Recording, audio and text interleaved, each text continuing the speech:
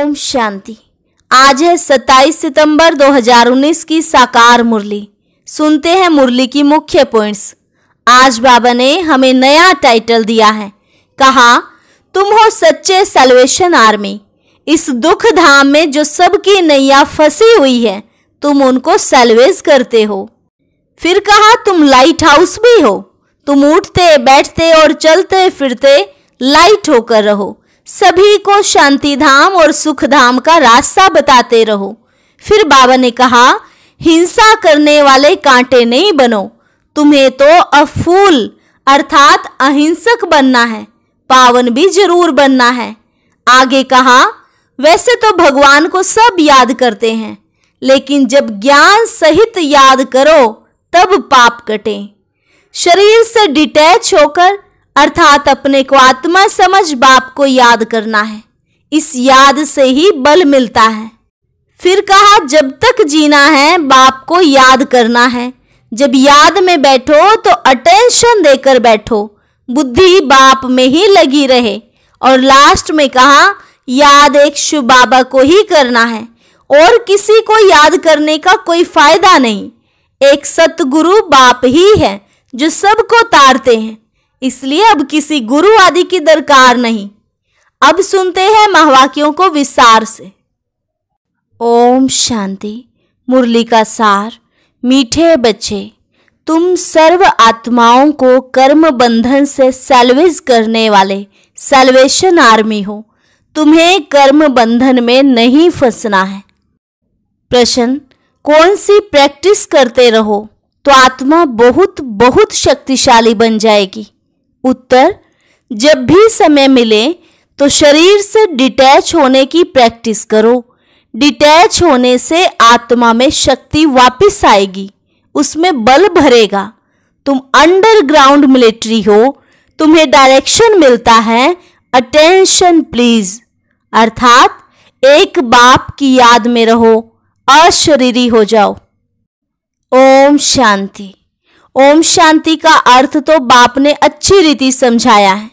जहाँ मिलिट्री खड़ी होती है वे फिर कहते हैं अटेंशन। उन लोगों का अटेंशन माना साइलेंस।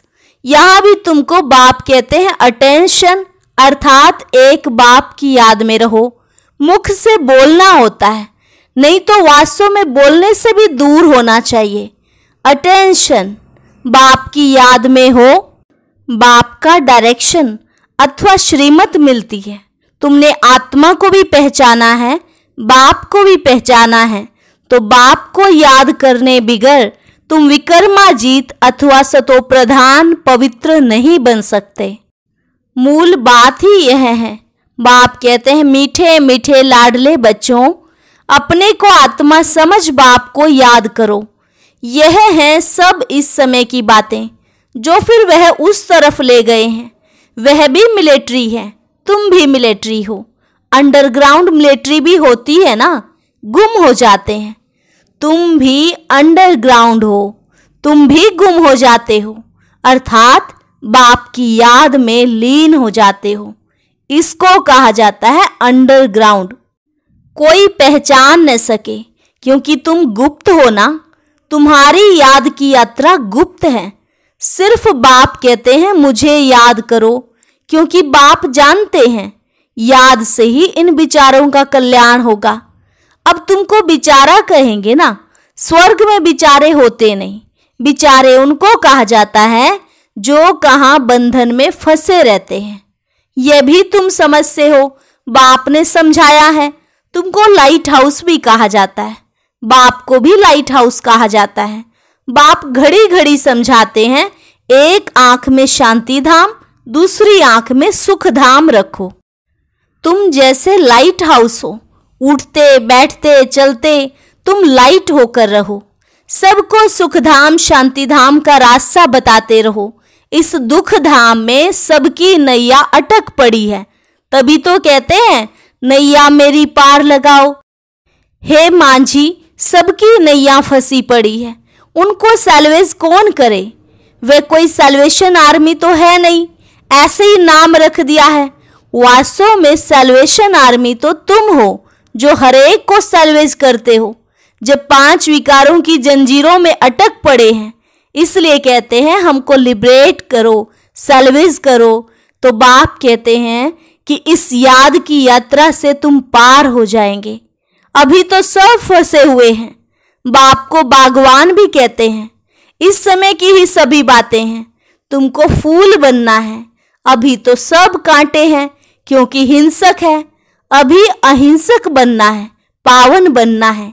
जो धर्म स्थापन करने आते हैं, वह तो पवित्र आत्माएँ ही आती हैं। वह तो अपवित्र हो न सके।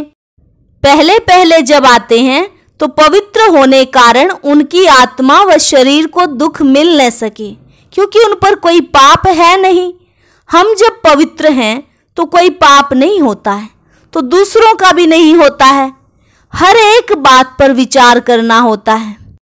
वहाँ से आत्माएँ आती हैं धर्म स्थापन करने, जिनकी फिर डिनाइस्टी भी चलती है।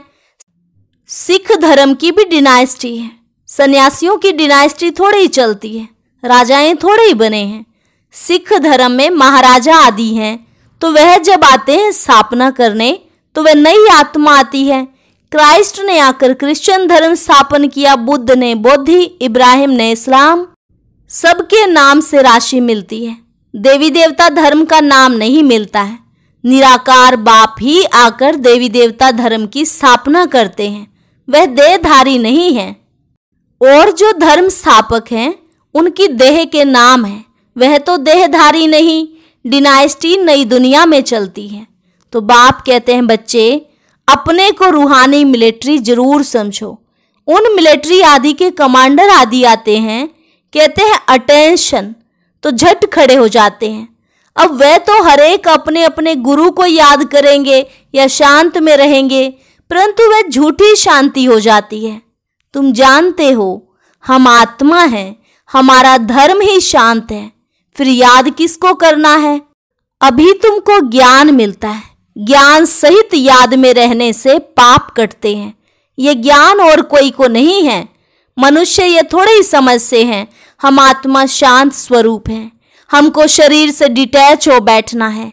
यहाँ तुमको वह बल मिलता है जिससे तुम अपने को आत्मा समझ बाप की याद में बैठ सकते हो।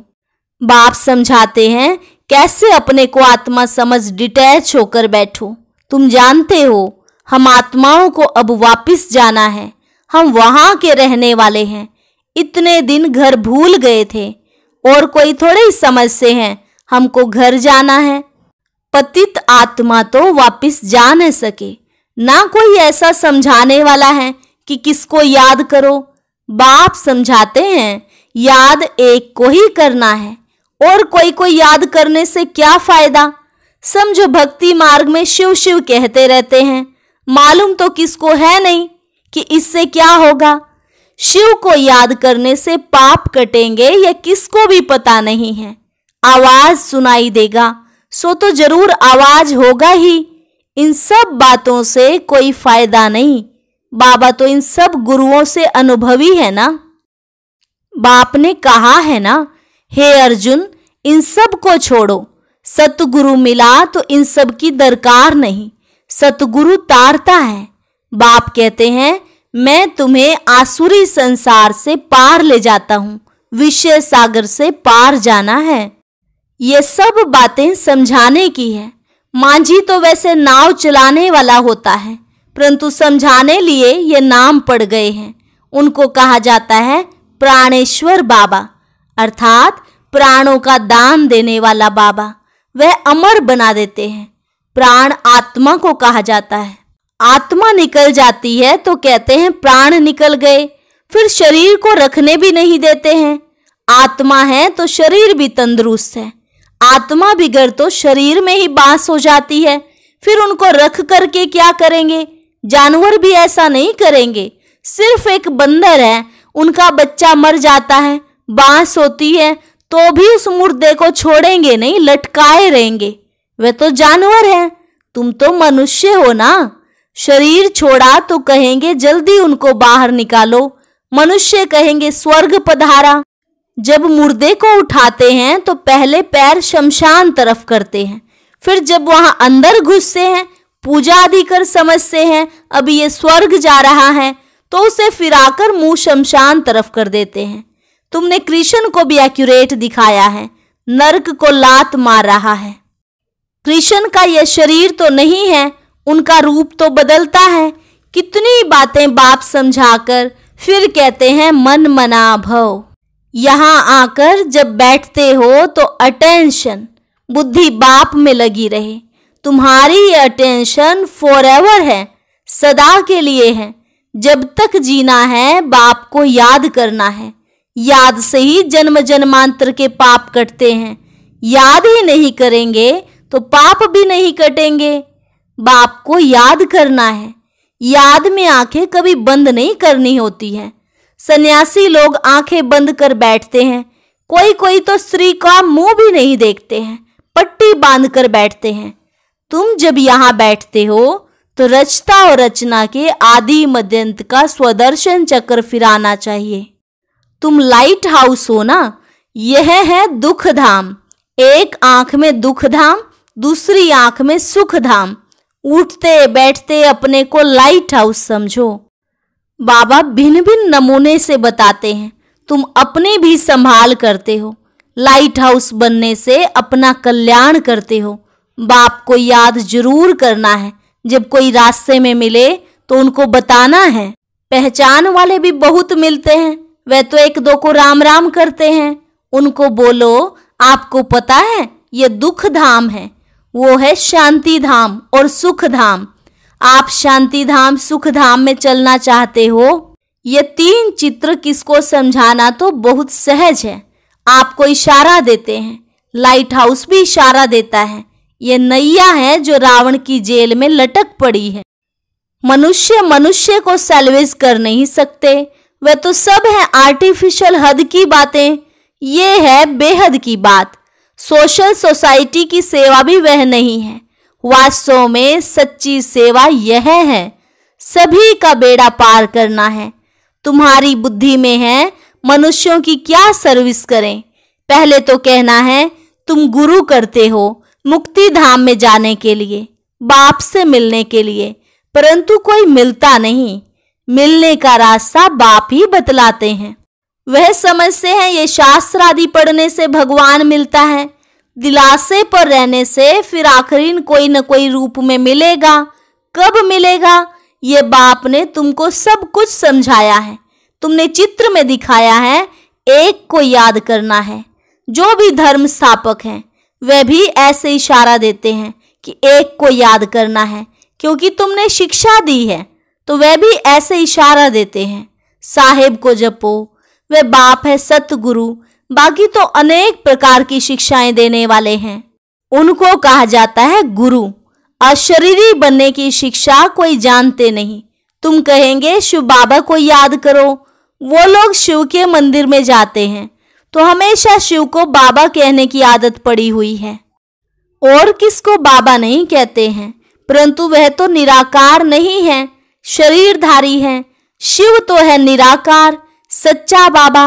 वह तो सबका बाबा हुआ ना। सब आत्माएँ अशरीरी हैं। तुम बच्चे यहाँ जब बैठते हो तो इस धुन में बैठो। तुम जानते हो कि हम कैसे फंसे हुए थे।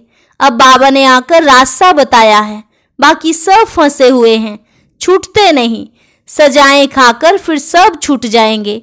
तुम बच्चों को समझाते रहते हैं मोचरा खाकर थोड़े ही मानी, अर्थात रोटी लेनी है। मोचरा बहुत खाते हैं तो पद भ्रष्ट हो जाता है। मानी, अर्थात रोटी कम मिलती है।